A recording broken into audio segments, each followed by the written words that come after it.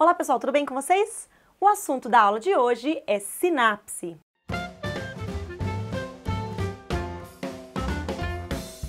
Na última aula a gente falou sobre potencial de ação ou impulso nervoso. E o impulso nervoso, ele não acontece apenas ao longo do neurônio, mas ele pode ser transferido, ele pode ser passado de um neurônio para outro neurônio ou de um neurônio para um órgão efetor, que pode ser um músculo ou uma glândula. A gente já tem aqui no canal uma aula sobre sinapse neuromuscular, que é a passagem do impulso nervoso de um neurônio para um músculo. A aula tá lá na playlist de sistema muscular, mas eu vou deixar ela aqui em cima para vocês também. Bom, uma sinapse é a região de comunicação entre um neurônio e outro, ou como eu já falei, entre um neurônio e um músculo ou uma glândula. Mas na aula de hoje a gente vai falar a respeito das sinapses nervosas, ou seja, a passagem aí do impulso nervoso de um neurônio para o outro. E existem dois tipos de sinapses nervosas: a sinapse química, que acontece na maior parte do corpo, e a sinapse elétrica. Na sinapse química, os neurônios se aproximam um do outro, mas eles não se tocam. O neurônio que está localizado antes da sinapse, aquele que vai passar a informação, ele é chamado de neurônio pré-sináptico. Já o neurônio que está localizado após a sinapse, aquele que vai receber a informação, é chamado de neurônio pós-sináptico.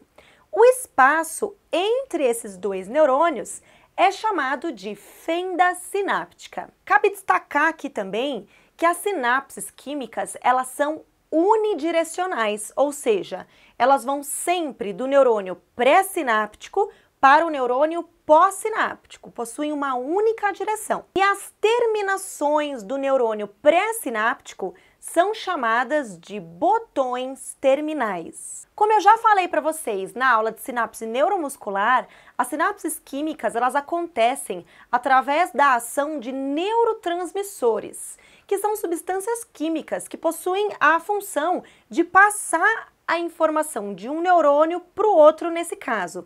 Então os neurotransmissores eles vão ser aí mensageiros que vão atuar nesse processo de comunicação entre os neurônios. Os neurotransmissores, eles são produzidos pelos neurônios e eles ficam armazenados dentro de vesículas, que nós chamamos de vesículas sinápticas. Essas vesículas já vão ficar posicionadas ali no botão terminal, perto da membrana pré-sináptica, prontas para que quando elas receberem o estímulo, elas possam liberar aí os neurotransmissores na fenda sináptica.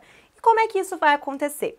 Quando o potencial de ação ele chega no botão terminal, canais de cálcio voltagem independente que estão localizados na membrana celular daquele neurônio se abrem e o cálcio, por difusão, ele vai entrar no neurônio pré-sináptico. Com a entrada de cálcio, existe o estímulo para que essas vesículas que têm neurotransmissores dentro sejam deslocadas até a membrana pré-sináptica, até o local onde os neurotransmissores vão ser liberados. E essas vesículas, quando elas chegam na membrana pré-sináptica, elas se fundem à membrana e liberam os neurotransmissores na fenda por exocitose. E a partir do momento que os neurotransmissores são liberados na fenda sináptica, eles vão se ligar a receptores específicos que estão localizados na membrana ou no neurônio pós-sináptico. O que acontece depois dessa ligação vai depender do tipo de neurotransmissor que está atuando naquela sinapse. Então, nós temos vários neurotransmissores, cada um com a sua função específica. Por exemplo, existem neurotransmissores capazes de estimular o neurônio pós-sináptico, de fazer com que aquele neurônio seja despolarizado e haja um novo potencial de ação. A gente tem como neurotransmissores excitatórios, por exemplo, a serotonina, o glutamato, a acetilcolina, na maior parte das vezes, ela tem função excitatória. E além disso, a gente também tem neurotransmissores que são inibitórios. Eles hiperpolarizam o neurônio pós-sináptico, inibindo a sua ação. Exemplos de neurotransmissores inibitórios são o GABA, que é o ácido gama-aminobutírico, e o aminoácido glicina. Lembrando que eu dei apenas alguns exemplos, existem vários outros neurotransmissores aí. Já na sinapse elétrica, os neurônios, eles estão extremamente próximos. E os neurônios da sinapse elétrica possuem proteínas chamadas conexinas. Essas conexinas se unem formando canais que permitem a passagem dos íons diretamente de um neurônio para o outro. Essas junções são chamadas de junções comunicantes ou junções do tipo gap.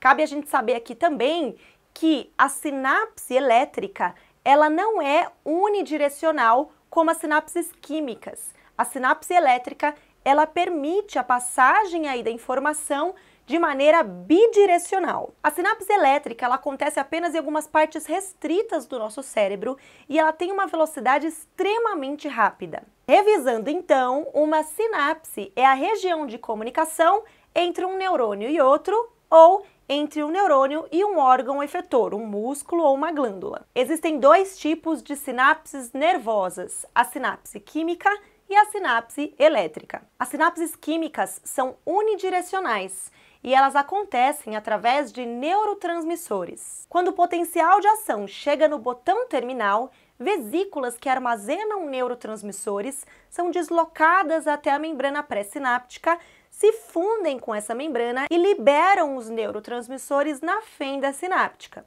A partir daí, esses neurotransmissores se ligam a proteínas receptoras específicas no neurônio pós-sináptico. Existem neurotransmissores excitatórios que estimulam a geração de um potencial de ação no neurônio pós-sináptico e existem neurotransmissores inibitórios que hiperpolarizam o neurônio pós-sináptico, inibindo a sua função. Já a sinapse elétrica possui junções comunicantes, que permite a passagem de íons diretamente de um neurônio para o outro. Esse tipo de sinapse permite uma transmissão bidirecional. Espero que vocês tenham entendido e até a próxima aula!